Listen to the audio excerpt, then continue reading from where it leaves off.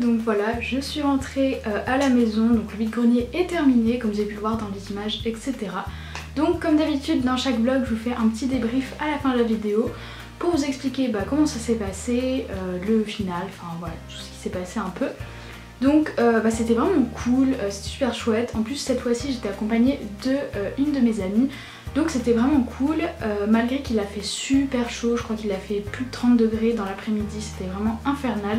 En plus j'avais le parasol mais euh, on n'avait pas le pied du parasol du coup il a fallu euh, galérer à essayer de le coincer quelque part, ça protégeait pas tout le stand et vraiment la Fimo surtout c'est très fragile avec le soleil.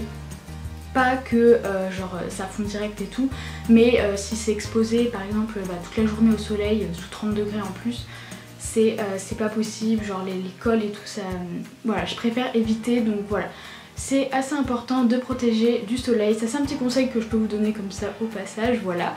Et sinon, euh, bah du coup, vu qu'il a fait très très chaud, l'après-midi surtout, il y avait beaucoup moins de monde. Le matin, il y avait pas mal de monde, mais l'après-midi, euh, je pense que tout le monde est parti un peu à la plage ou s'enfermer chez soi euh, à l'ombre.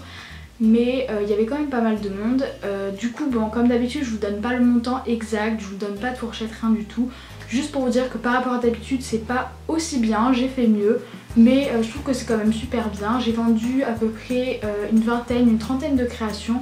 Euh, bon sur 300 ou 350 c'est vraiment peu par rapport à tout ce que j'ai. Mais c'est déjà ça, franchement, si je l'avais pas fait, bah, j'aurais pas autant vendu chez moi comme ça en faisant rien. Donc c'est quand même déjà ça. Du coup voilà, j'ai pas grand chose d'autre à vous dire. Je pense que vous avez pu voir à peu près tout en images. Donc voilà, cette vidéo visiblement vous l'attendez depuis euh, pas mal de temps. Donc j'espère en tout cas qu'elle vous aura plu parce que euh, vous m'avez énormément demandé sur Instagram et sur Snapchat quand je vous avais euh, annoncé que j'allais faire un vide-grenier. Donc voilà, j'espère que ça vous aura plu. N'hésitez pas à me donner donc votre avis dans les commentaires comme d'habitude. Et n'hésitez pas non plus à me dire si ça vous intéresse une vidéo conseils sur les brocantes etc. J'en avais déjà fait une mais euh, voilà elle date un peu. Donc voilà sur ce je vous plein de gros bisous, je vous dis à la semaine prochaine, bye tout le monde